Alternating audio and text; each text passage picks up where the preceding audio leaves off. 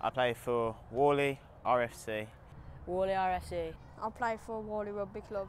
Warley Rugby Club started 40 years ago with one men's team, mostly made up of teachers and local people who just wanted to have a game of rugby. Um, we had we were on a, based on a council site, um, and we basically were disappearing down the plug hole. We initially heard about running sports workshops through our national governing body. We were a bit resistant in the beginning because we thought it would take away time that we wanted to spend at the club. But when we went on them, we found that the things we found out there were very useful for us and maximised our potential in a lot of ways.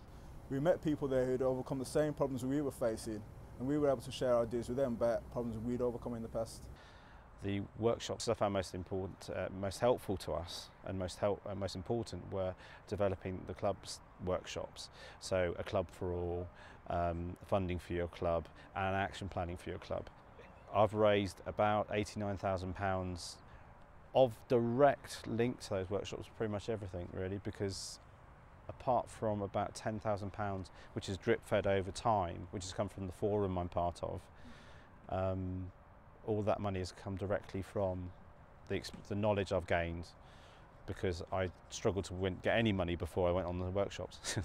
we've started to develop children's teams and we've now running three men's teams, four children's teams and we've recently added a women's team two seasons ago. The running sports workshops have been really useful to me. They've helped me to bring back ideas to the club that have been useful here, but they've also been useful to me in my work life. We found that it's been really beneficial to us to have a very professional outlook to the way we do things. It makes us more effective with our time and our money, but also it encourages people to stay with us because we do things a lot better. I'd really recommend the running sports workshops.